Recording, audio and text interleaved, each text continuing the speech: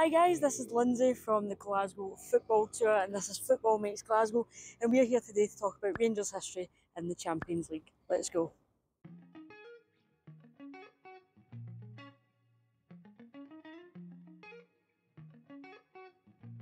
Rangers became the first Scottish side to compete in the UEFA Champions League in 1992 and they defeated Danish side Lyngby in their first ever game.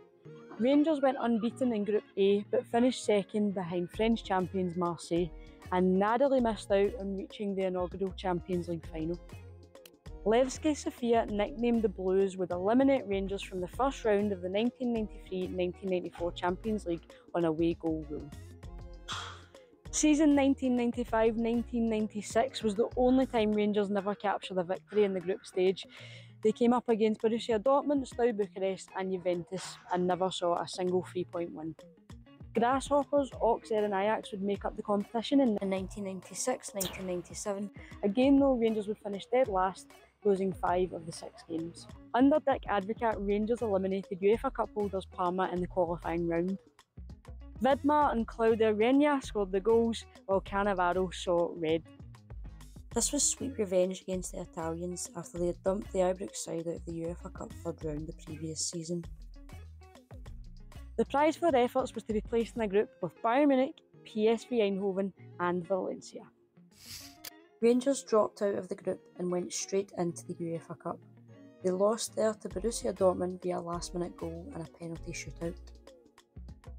The following season Rangers looked set to progress after convincingly beating Sturm Graz and Monaco in the first two rounds of fixtures. They collected two more points with draws against Monaco and Galatasaray, but a loss to the Austrians meant they would finish third once again. Sir Alex Ferguson returned to Ibrox and Govan in 2003, bringing the mighty Manchester United. This was the first time that Fergie came face to face with Scottish opponents. Manchester United would win the Battle of Britain with a goal courtesy of Phil Neville. Rangers would become the first ever Scottish side to qualify from the Champions League group stage in season 2005 2006. Rangers finished second on seven points in a group containing Inter Milan, Porto, and Artmedia. It was a very special night here at Ibrox on the 6th of December 2005 when lone striker and fan favourite Peter Lovenkrands scored an equalising goal against Inter. Rangers' dream of becoming the first Scottish side in the quarter-finals of the Champions League ended with an away goals rule defeat at the hands of Villarreal. The 2007-2008 campaign would lead Rangers all the way to the UEFA Cup final in Manchester after finishing third in Group E, a group containing Stuttgart, Lyon and Barcelona. The following campaign is one that many Rangers fans would like to forget. The UEFA Cup finals crashed out of Europe following a goalless draw and a goal four minutes from time, which gave Kaunas a dramatic victory in Lithuania. Manchester United would return to Ibrox in 2010 and they only managed to take one goal off them over two games. Sadly, three draws, two losses and one win would bring a third place finish.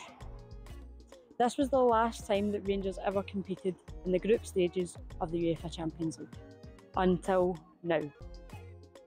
The most recent appearance in a European final by a Scottish side was the 2022 Europa League final. Rangers played Eintracht Frankfurt and sadly lost on penalties. Just how far can they go in this season's UEFA Champions League run?